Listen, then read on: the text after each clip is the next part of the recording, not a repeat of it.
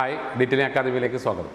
It's B Shami ഇന്ന് നമ്മൾ സംസാരിക്കാൻ പോകുന്നത് ഇന്ന് നമ്മൾ ഡിസ്കസ് ചെയ്യാൻ പോകുന്നത് ഹൈ സ്പോട്ട് അതായത് എല്ലാവർക്കും കിട്ടുന്ന ഒരു പ്രോ പ്രോബ്ലമാണ് ഹൈ സ്പോട്ട് അതായത് ഹൈ സ്പോട്ട് എന്ന് പറഞ്ഞു കഴിഞ്ഞാൽ നമ്മൾ സെറാമിക് അപ്ലൈ ചെയ്യും. അപ്ലൈ ചെയ്തിട്ട് കുറച്ച് കഴിഞ്ഞ് കഴിഞ്ഞാൽ ഒരു ഒരു ലൈൻ പോലെ അല്ലെങ്കിൽ ഒരു ഹൈസ്നെസ് പോലെ അതിനൊരു വൈപ്പിംഗ് മാർക്കൊക്കെ അവിടെ കാണാൻ സാധ്യതയുണ്ട്. ഇതെങ്ങനെ റിമൂവ് ചെയ്യണം? എന്താണിത് എങ്ങനെയാണിത് വരുന്നത് എന്നുള്ളതാണ്. സാധാരണ നമ്മൾ കോട്ടിങ് ചെയ്യണ സമയത്ത് നമ്മൾ എപ്പോഴും പറയാറുണ്ട് കോട്ടിങ് ചെയ്യുന്ന റൂമിൽ നല്ല ലൈറ്റിംഗ് വേണം എന്നുള്ളത് ലൈറ്റിംഗ് എന്തിനാണെന്ന് വെച്ച് കഴിഞ്ഞാൽ ഇപ്പോൾ ഇതൊക്കെ എന്ന് പറഞ്ഞു കഴിഞ്ഞാൽ നമ്മൾ ചെറിയ ലൈറ്റിംഗ് ആണ് നമുക്ക് ടെസ്റ്റ് ചെയ്യാൻ പറ്റുന്ന ലൈറ്റിംഗ് അതേപോലെ തന്നെ നോർമൽ ലൈറ്റിംഗ് നമുക്ക് എന്ത് ചെയ്യാൻ പറ്റും? ഇതുപോലെ വെച്ചിട്ട് ആ ഏരിയയിലേക്ക് നമുക്ക് കൊടുത്തിട്ട് അപ്ലൈ ചെയ്യാൻ പറ്റും. പക്ഷേ ഇതുപോലെ അല്ലാണ്ട് നമ്മൾ നമ്മളെ ഷോറൂമിന്റെ ഉള്ളിൽ നമ്മൾ എവിടെയാണോ ഡീറ്റെയിലിംഗ് ചെയ്യുന്നത് ആ ഷോറൂമിന്റെ ഉള്ളിൽ നല്ല ലൈറ്റിംഗ് നമുക്ക് കിട്ടണം. അതായത് നമ്മൾ എവിടെയാണോ നമ്മൾ അപ്ലൈ ചെയ്യുന്നത് ആ അപ്ലൈ ചെയ്യുന്ന ഏരിയയിലേക്ക് നമുക്ക് ലൈറ്റിംഗ് നന്നായിട്ട് വേണം.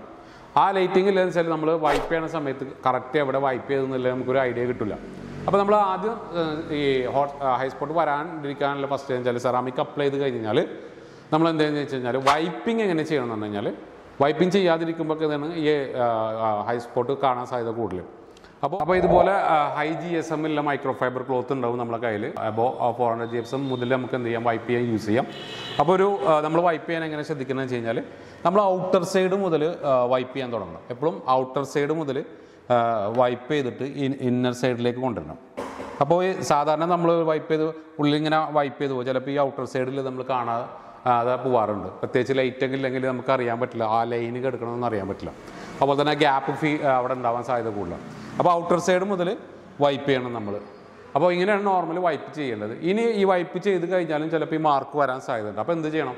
കുറച്ച് സമയത്തിനുള്ളിലാണ് നിങ്ങളിത് കാണുന്നുണ്ടെങ്കിൽ ഏകദേശം ഒരു അരമണിക്കൂർ ഒരു മണിക്കൂറിനുള്ളിലാണ് ഇത് കാണുന്നുണ്ടെങ്കിൽ നിങ്ങൾ അഗൈൻ നിങ്ങൾക്ക് എന്ത് ചെയ്യാം? സെറാമിക് കോട്ടിങ് അഗൈൻ അപ്ലൈ ചെയ്തിട്ട് അവിടെ വീണ്ടും പാച്ച് ചെയ്യാൻ പറ്റും.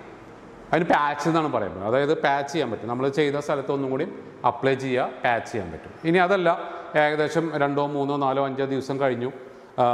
ഇത് അപ്പോഴാണ് ഇത് കാണുന്നത് വെച്ചാൽ ഹൈ സ്പോട്ട് പോലത്തെ ഹൈസ്നെസ് ലൈന് കാര്യങ്ങളൊക്കെയാണ് കാണുന്നത് വെച്ച് കഴിഞ്ഞാൽ പേടിക്കേണ്ട ആവശ്യമില്ല. അഗൈൻ നിങ്ങൾക്ക് ഒരു ടു തൗസൻഡ് ഫൈവ് ഹൺഡ്രഡിന്റെ അബോ മേലക്കുള്ള ഗ്രിറ്റുള്ള നമ്മളെ കോമ്പൗണ്ട് നമുക്ക് സെലക്ട് ചെയ്ത് യൂസ് ചെയ്യാൻ പറ്റും. അതെങ്ങനെയാണെന്നുള്ളത് ഞാൻ ഓൾറെഡി വീഡിയോയിൽ പറഞ്ഞിട്ടുണ്ട്. എങ്ങനെയാണ് കോമ്പൗണ്ട് നമ്മൾ സെലക്ട് ചെയ്യേണ്ടത്?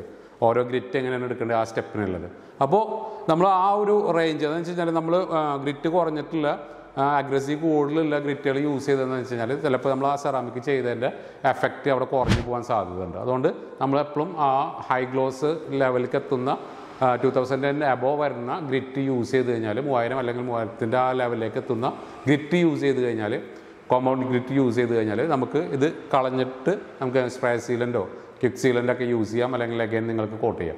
ഇനി നമ്മളൊരു ഒരു അത് പോകുന്നില്ല. ഒരുപാട് ടൈം കഴിഞ്ഞിട്ടാണ് മെയിന്റെയിൻ ടൈമിലൊക്കെയാണ് ഇത് കാണുന്നതെങ്കിൽ ഒരു വൺ ഇയർ ഗ്യാപ്പ് ആ ഒരു സമയത്തൊക്കെയാണ് ഇത് ഫീൽ ചെയ്യണത് കാണുന്നത്.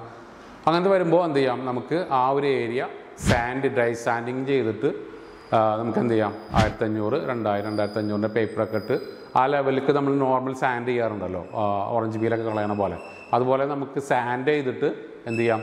അവിടെ രണ്ടാമത് നമുക്കിത് അപ്ലൈ ചെയ്യാൻ പറ്റും. ഓക്കെ ഇങ്ങനെയാണ് ഇത് മെയിന്റെയിൻ ചെയ്യുക.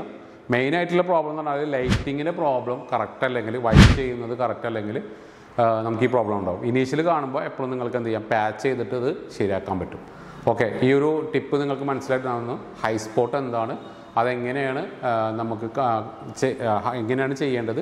അതുപോലെ തന്നെ ഹൈ സ്പോട്ട് വന്നു കഴിഞ്ഞാൽ എങ്ങനെയാണ് അതിന്റെ റെമഡി എന്താണെന്നുള്ളതാണ് ഇപ്പോൾ ഞാൻ പറഞ്ഞിട്ടുള്ളത്. Okay thank